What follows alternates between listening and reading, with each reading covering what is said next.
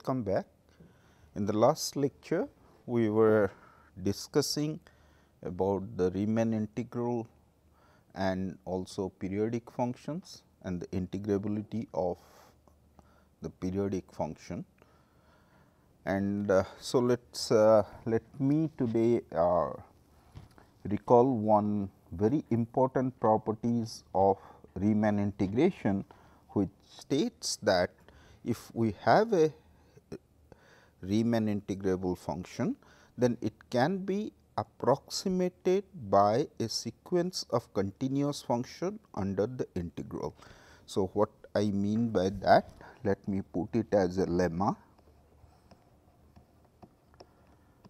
Let f be a 2 pi periodic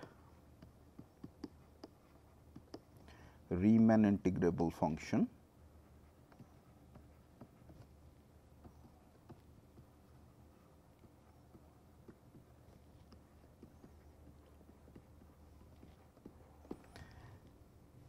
Suppose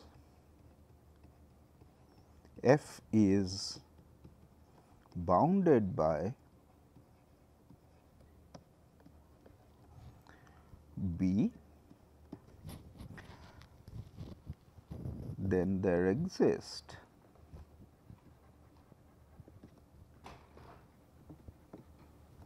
A sequence of continuous 2 pi periodic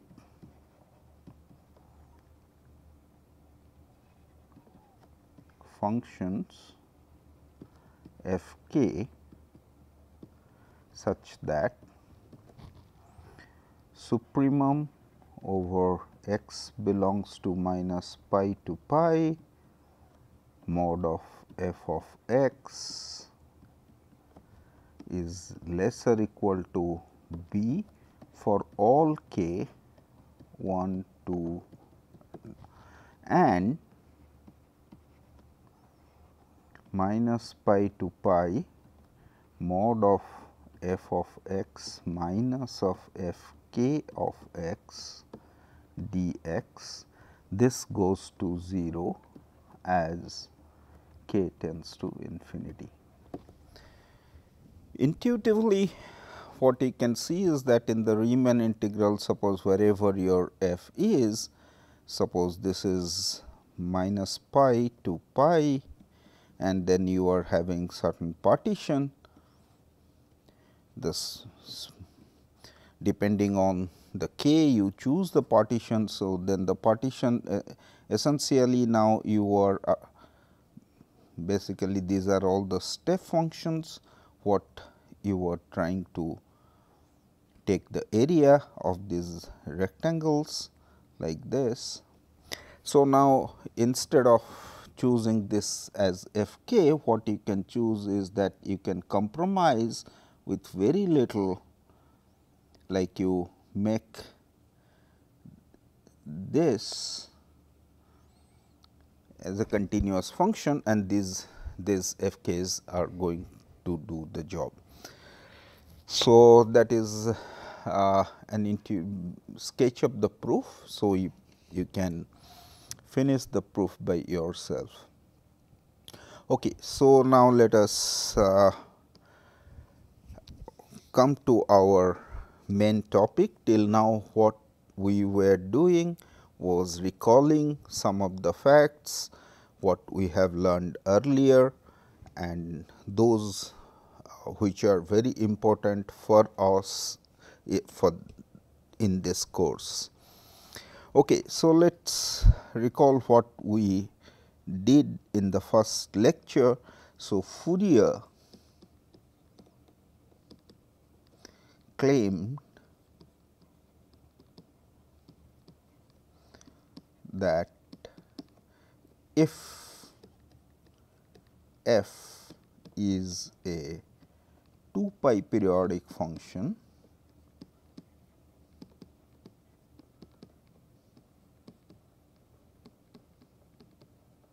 then there exist sequence a n and b n such that f of x can be written as summation over n equal to 0 to infinity a n cos n x plus summation n equal to 1 to infinity b n sin n x. So, there are several questions one can ask because first is that what are these a n's and b n's vis-a-vis the given function f. So, Fourier gave a prescription where he claimed that a 0 is equal to 1 by 2 pi integral 0 to 2 pi f of x dx and a n is equal to 1 by pi 0 to 2 pi f of x cos n x dx and b n is equal to 1 over pi integral 0 to 2 pi f of x sin n x dx. Okay. So, this is what was the claim of Fourier. Still it is not clear that uh, given this a n b n, why the series on the right hand side remember these are all infinite series, why should they converge in the first place?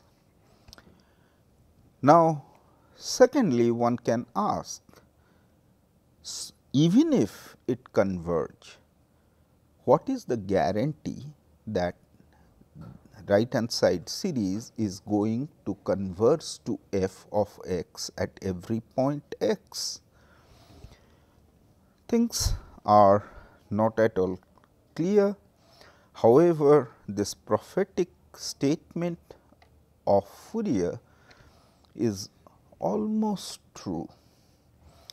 We will see some of the convergence result in this course and remember this is a very important questions in for, for, mathematics as well as for the applications. So, what are first what we would like to do is that to find large class of function for which the Fourier series converges and we must ensure that the convergence it converges to the function f. Okay, so, before uh, computing some of the Fourier coefficients. So, let us see observe you know that f is a 2 pi periodic function, we can we have the freedom to consider this integral from 0 to pi or for that matter minus pi to pi, because all these are 2 periodic 2 pi periodic function. F is a 2 pi periodic function. Cos and sin a 2 pi periodic function. So, we have the liberty to choose our integral uh, minus pi to pi or 0 to 2 pi. Okay. So, now if f is an odd function, suppose f 2 pi periodic and odd that means, f is I can consider it as a map from minus pi to pi to r, where f of minus of x is equal to minus of f of x. So, for this kind of function it is uh, uh, enough to define the function on 0 to 2 pi, then we it is just the odd one. Now, for this case let us compute a n then a n as by the prescription of Fourier suppose first a 0 which is 1 by 2 pi minus pi to pi f of x dx. This is equal to uh, 0 because f is an odd function and uh, a n for n not equal to 0 this is again 1 by pi minus pi to pi f of x cos n x dx. So, recall that uh, f is odd and cos is an even function therefore, the product is going to be an odd function. So, again this is going to be 0 and for b n this is equal to 1 by pi minus pi to pi f of x sin x sin n x dx. Now, this is an odd function f and sine is also an odd function. Therefore, the product is going to be an even function. So, this we can write that 2 by pi 0 to pi f of x sin n x dx. Similarly, we can define it for the even function. Suppose if f is even,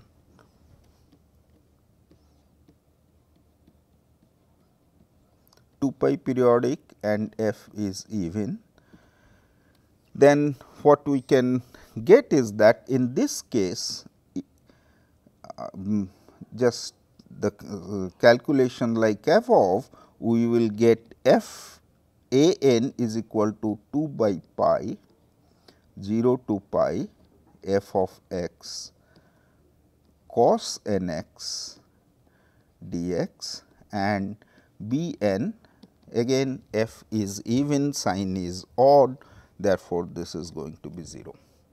Therefore, for odd function the Fourier series for the odd function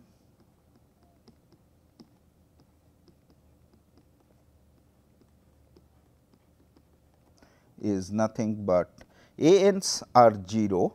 Therefore, this is n equal to 1 to infinity 2 by pi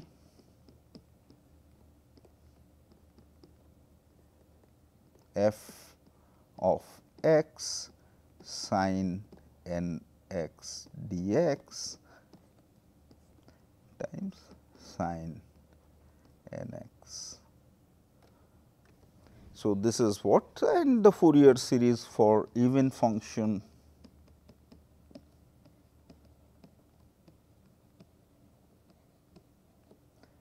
is summation n equal to 0 to infinity a n cos n x where a n is given by this formula.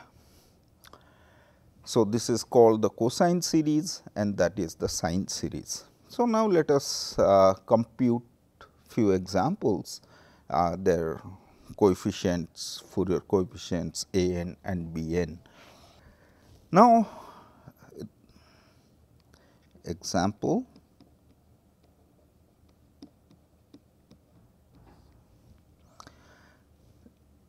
first example the trivial example let us take f of x is equal to 1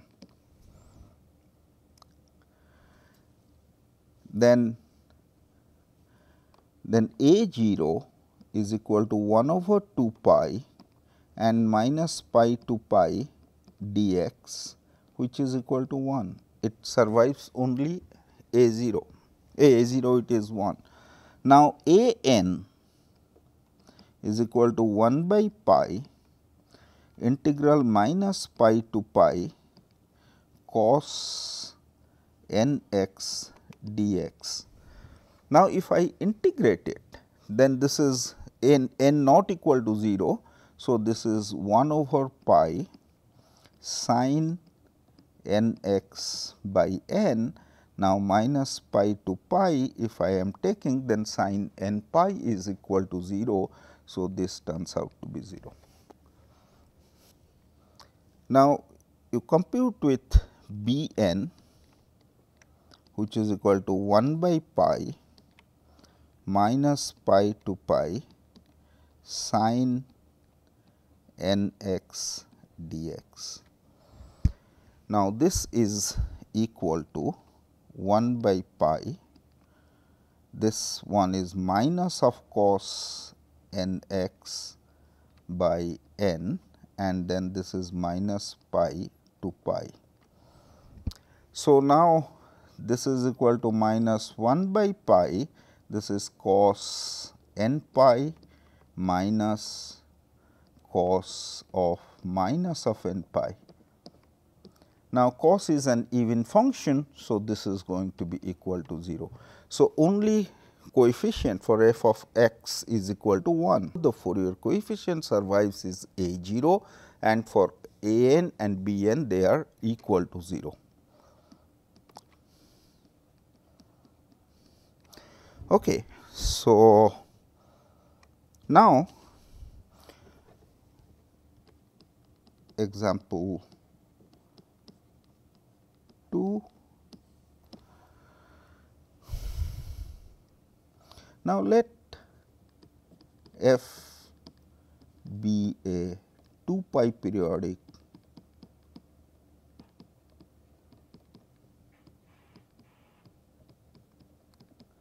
function and f of x is defined to be x on 0 to 2 pi. At 2 pi again it is going to take the value 0. So, now let us try to sketch the function. So, this is uh, 2 pi, this is 4 pi, this is minus of 2 pi. So,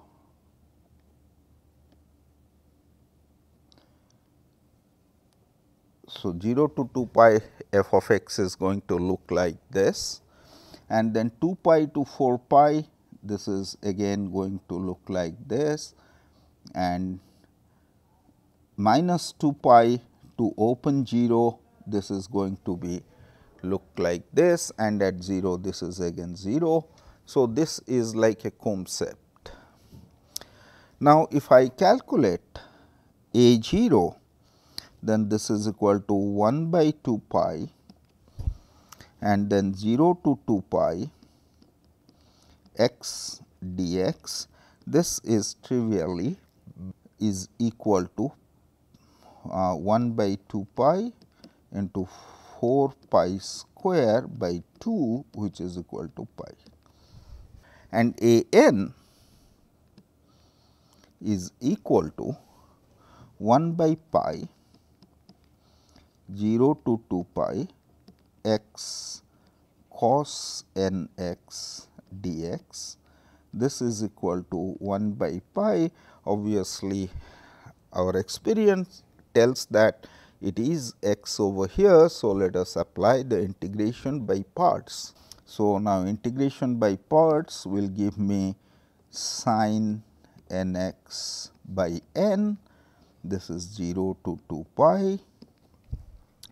Remember that n is not equal to 0 Therefore, this is minus 1 by pi integral 0 to 2 pi sin n x by n dx. Now, this is sin 2 pi 0, sin 0 0, the first term it goes away.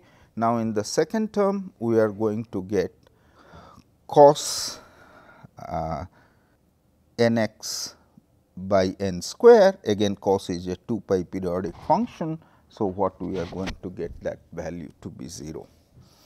Now, b n is equal to 1 by pi 0 to 2 pi x sin n x dx which is again equal to 1 by pi by integration by parts is x then sine integral is cos n x by n with a negative sign. This is 0 to 2 pi. And uh, then uh, this is minus minus plus 1 by n pi integral 0 to 2 pi. Uh, this is cos n x dx. So, now here cos 2 pi n is equal to 1 therefore, this is minus 2 pi by n and x presence of x is 0. So, that is going to be 0 and anyway this integral is going to be 0. So, this is what is our b n. Now, our next example is interesting here we are taking f of x is a 2 pi periodic function defined on 0 to 2 pi as x. Now, if I change a little, so this is example 3 that f 2 pi periodic and f of x is equal to x on minus pi to pi. Then unlike the previous example, look at the graph of this function. This is pi, this is 2 pi, this is 3 pi, this is minus pi, minus 2 pi, minus 3 pi like this. So, now here on minus pi to pi this is x is going to look like this. And here this is again going to pi to 3 pi this is going to look like this and minus 3 pi to minus pi this is going to look like this. You can see that there is a change of behavior uh, for the f we have defined earlier by giving the value f of x equal to x on 0 to 2 pi and here I am giving f of x equal to x on minus pi to pi. Now, this is an odd function therefore, a n is going to be 0. Now, we need to find b n, b n what we know is that this is 2 by pi 0 to pi x sine n x dx. Now, this we have already computed this. So, for the sake of completion let us see it again. So, this is x then with a negative sign minus cos n x by n, n is not equal to 0 and then this is 0 to pi and then minus minus plus 2 by pi. Uh, and then this is the integral 0 to pi. X is derivative of x is 1 this is cos n x dx and then this is n. So, this one is going to be now 2 by pi at this is pi and then with a negative sign. So, this is minus of pi divided by n and then cos n x cos n pi is equal to minus 1 to the power n and 0 x equal to 0 is 0 goes away. And now if I am integrating it this is sin n x by n. However it is 0 to pi so sin n pi is equal to 0 and sin 0 is equal to 0 so this gets cancelled. So this is uh, basically what we have got is that this is minus negative of minus 1 to the power n 2 by n that is what we have got done. Now, for the fourth example which we need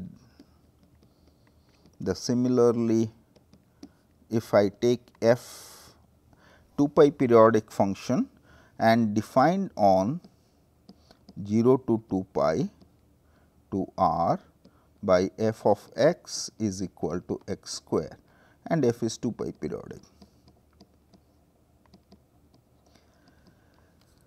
So, as you can see that a 0 this easy computation will give you 2 pi square by 3 and then n not equal to 0 a n from 1 to infinity. So, if you do integration by parts then the integration by parts you have in the first one what you are going to get is that 1 by pi then this is x square then this is sine n x by n this is 0 to 2 pi that will go away and then minus 2 by pi n this is 0 to 2 pi x then this is sine n x dx. We have computed this integral 0 to 2 pi x sine n x dx earlier. So, this is going to become 4 by n square and b n this is equal to in the similar way if we do that then this is 4 pi by n. Okay. So, so far so good. So, for this uh, Fourier has also said that it is not only specific to 2 pi periodic function. We can discuss the Fourier series uh, for L 2 L periodic function instead of L is equal to pi. So, Fourier series